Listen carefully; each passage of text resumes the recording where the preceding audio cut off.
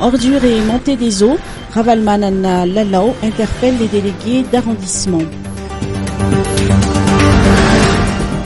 Le maire de la commune urbaine d'Antanarive, Lalo Ravalmanan, et son conseiller spécial, Marc Ravalmanan, ont rencontré les délégués d'arrondissement et les chefs de service des services techniques des six arrondissements de la capitale aujourd'hui.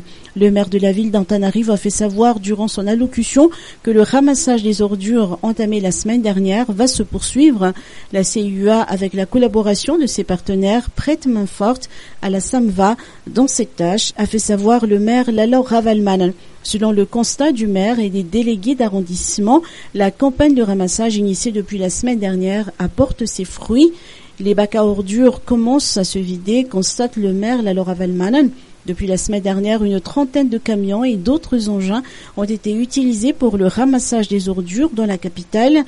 Laura Valmanen et son conseiller spécial ont profité de cette réunion matinale pour donner des consignes à l'endroit des délégués d'arrondissement et des chefs de service, euh, des services techniques concernant le ramassage des ordures dans les arrondissements, le curage des caniveaux pour éviter la montée des eaux due à l'arrivée des pluies dans la capitale. Il faut être paré à toute éventualité, surtout dans les bas quartiers, a annoncé la Lau Ravalmanen.